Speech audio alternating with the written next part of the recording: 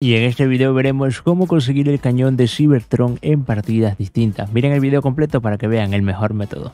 Pero antes recordarles a todos que se vayan a la tienda de objetos de Fortnite y luego a la parte de abajo en la esquina que dice apoya a un creador y cuando les salga este recuadro ya saben que siempre tienen que escribir el código EIVAX, así como lo están viendo y luego aceptar. De esta forma ayudará muchísimo el canal, así que gracias a todos por el apoyo.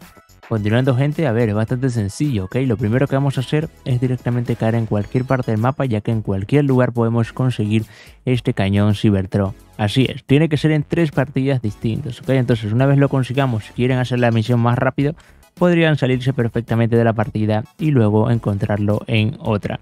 Por ejemplo, uno de los lugares que más recomiendo sería asentamiento arbolado o por aquí, por esta zona, ya que por aquí podemos encontrar las nuevas... Eh, bóvedas, por así decirlo, que bueno, tienen bastantes cofres, ¿ok? Pero realmente este cañón se encuentra bastante fácil. Voy a, por ejemplo, mira, aquí abrí un cofre, vamos a abrir un par de cofres más y a ver qué tan difícil se me hace en esta partida para encontrarlo. Y bueno, de una vez levanto que no se me hizo muy difícil, mira, aquí lo tenía alguien, ¿ok?